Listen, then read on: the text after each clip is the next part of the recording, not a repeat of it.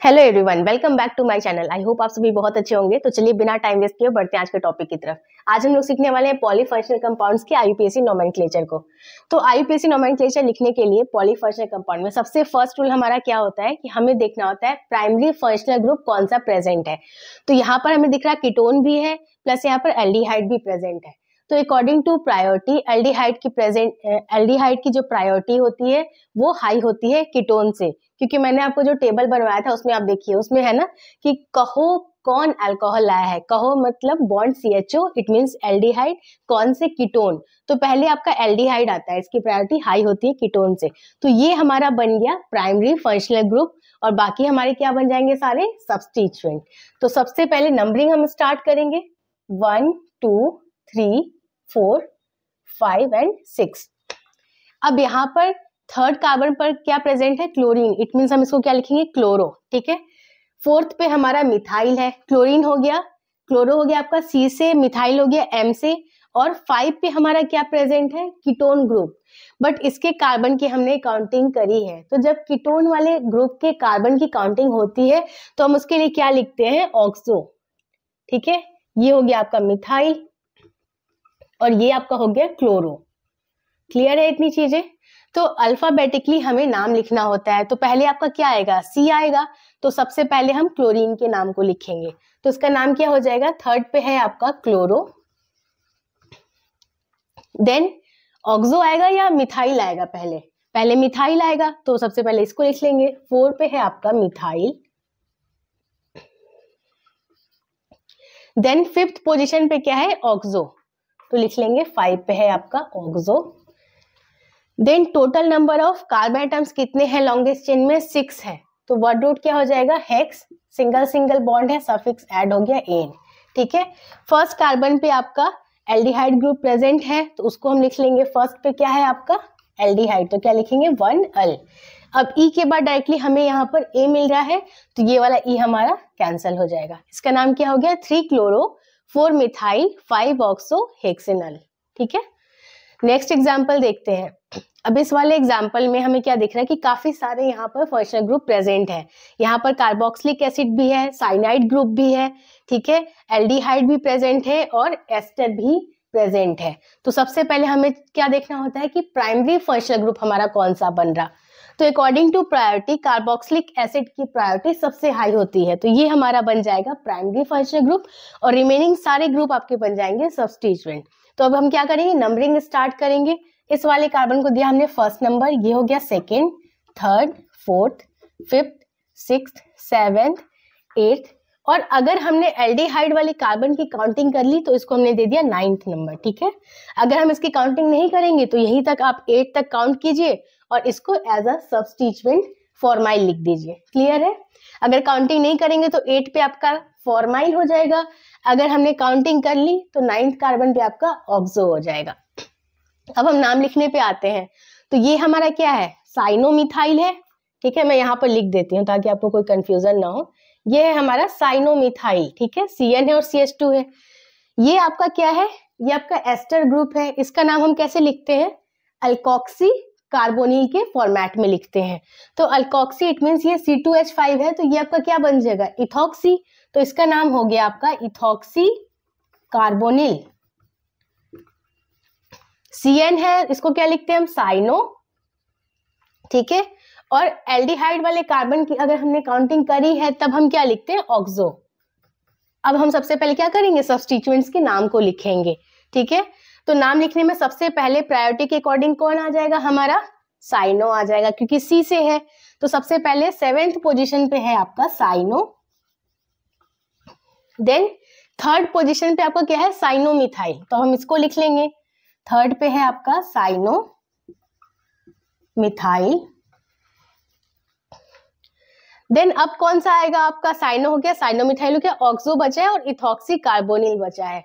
तो अल्फाबेटिकली ई e हमारा पहले आएगा ओ से तो हम इसके नाम को लिखेंगे। सिक्स पोजिशन पे आपका क्या है? इथॉक्सी कार्बोनिल यहाँ पे लिख रही हूँ मैं। Ethoxy carbonyl next ethoxy carbonyl के बाद क्या बचा हमारा? ऑक्सो नाइन्थ पोजिशन पे है हमारा ऑक्सो तो हमने इसको लिख लिया नाइन्थ पे ऑक्सो देन लॉन्गेस्ट चेन में टोटल नंबर ऑफ़ कार्बन आपके कितने हैं? नाइन है. तो नाइन है तो हम क्या लिखेंगे? नाइन के लिए क्या लिखते हैं? नोनेन तो नोनेन हमने लिख लिया. अब फ़र्स्ट कार्बन पे ही क्या है आपका? कार्बोक्सिलिक एसिड है.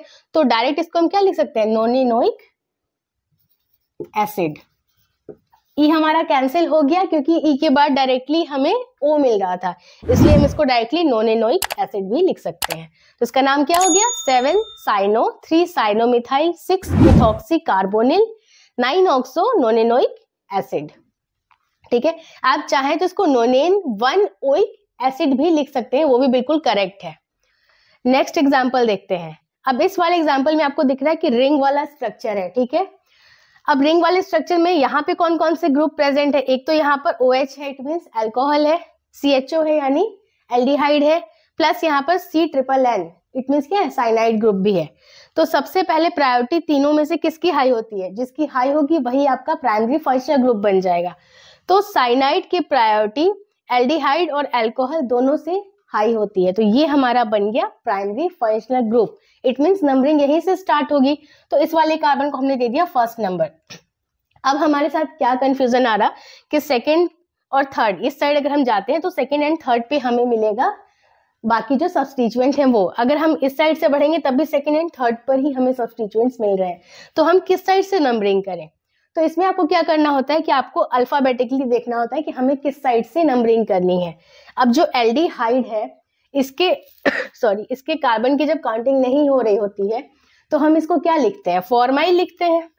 इसको हम लिखते हैं फॉर्माइल और ओ एच ओ एच को हम क्या लिखते हैं? जब ये एज अ प्रेजेंट होता है तो उसको हम लिखते हैं हाइड्रोक्सी ठीक है? ये सब आपने पढ़ा हुआ है। अब ये है एफ़ से और ये है एच से। तो अल्फाबेटिकली ये हमारा पहले आएगा, इसलिए नंबरिंग इस साइड से होगी। तो इस वाले कार्बन को हम देंगे सेकेंड नंबर इसको हम देंगे थर्ड नंबर क्लियर है ये? क्लियर है इतनी चीज़ें? अब हम नाम लिखते हैं तो सेकेंड कार्बन पे हमारा क्या प्रेजेंट है? फॉर्माइल प्रेजेंट है। तो सबसे पहले हम इसको लिख लेते हैं। सेकेंड पे है हमारा फॉर्माइल देन थर्ड कार्बन पर है हमारा हाइड्रोक्सी थर्ड पे है हमारा हाइड्रोक्सी ठीक है? अब ये साइक्लिक स्ट्रक्चर है और total number of carbon items हमारे तीन है इसमें। तो क्या लिखेंगे?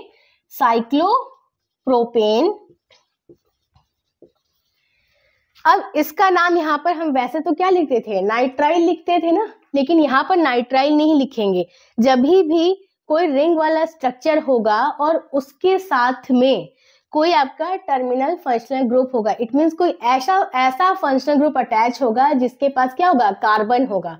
तो उसके लिए हम क्या यूज़ करते हैं? अगर यहाँ पर जैसे आपका साइनाइड ग्रुप है, तब हम क्या लिखेंगे? नाइट्राइल नहीं लिखेंगे, हम लिखेंगे कार्बोनाइट्राइल अब फ़र्स्ट या तो लिख लीजिए वन पे है आपका कार्बोनाइट्राइल या डायरेक्टली आप लिख लीजिए कार्बोनाइट्राइल एग्ज़ाम्पल देखते हैं। अब इस वाले स्ट्रक्चर में आपको क्या दिख रहा है कि यहाँ पर कार्बोक्सिलिक एसिड प्रेजेंट है, यहाँ पर साइनाइड है, यहाँ पर एल्कोहल है और यहाँ पर एल्डिहाइड भी प्रेजेंट है। तो according to priority carboxylic acid की प्रायोरिटी हमारी सबसे हाई होती है। तो इसको हम दे देंगे फ़र्स्ट नंबर अब हम किस साइड से नंबरिंग करेंगे? सी एच ओ की साइड से या सी ट्रिपल बॉन्ड एन की साइड से? तो अभी मैंने आपको तुरंत बताया था कि हम क्या करते हैं, सबसे पहले नाम लिखकर चेक करते हैं कि अल्फाबेटिकली हमारा कौन पहले आ रहा। तो सी एच ओ को हम क्या लिखते हैं? क्या प्रीफिक्स ऐड करते हैं? फॉर्माइल ठीक है ओ एच है इट मीन्स ये है hydroxy C triple bond N है इट मीन्स ये है साइनो अब पहले हमारा क्या आएगा? सी हमारा पहले आएगा तो इट मीन्स नंबरिंग इस साइड से स्टार्ट होगी. इसको हमने दिया फ़र्स्ट नंबर इसको हम देंगे सेकेंड इसको हम देंगे थर्ड नंबर और ये हो गया हमारा फोर्थ अब नाम लिखेंगे तो सेकेंड कार्बन पे हमारा साइनो है तो हम सबसे पहले इसको लिख लेंगे. टू पे है हमारा साइनो देन फोर्थ कार्बन पे हमारा क्या है? फॉर्माइल ग्रुप है। इसको मेंशन करेंगे। फोर पे है आपका फॉर्माइल देन थर्ड कार्बन पे है हाइड्रोक्सी तो हम लिख लेंगे थ्री पे क्या है आपका? हाइड्रोक्सी अब ये कैसा स्ट्रक्चर है? साइक्लिक स्ट्रक्चर है ना? तो इसको हम लिखेंगे साइक्लो और चार कार्बन एटम है। इट मीन क्या है? साइक्लो ब्यूटेन है ये। तो हम लिख लेते हैं साइक्लो ब्यूटेन फ़र्स्ट कार्बन पे ही क्या है? कार्बोक्सिलिक एसिड प्रेजेंट है। तो जब भी रिंग वाले स्ट्रक्चर से कोई ऐसा फंक्शनल ग्रुप अटैच हो जिसमें कार्बन हो तो उसके, उसका नाम थोड़ा डिफरेंट तरीके से होता है। मैंने आपको टेबल बनवाया था, उसमें आप चेक कर लीजिए। तो उस पर क्या लिखेंगे हम डायरेक्टली फ़र्स्ट कार्बन पे है हमारा कार्बोक्सिलिक एसिड तो हम उसको लिख लेंगे साइक्लोब्यूटेन वन कार्बोक्सिलिक एसिड या directly cyclobutane carboxylic acid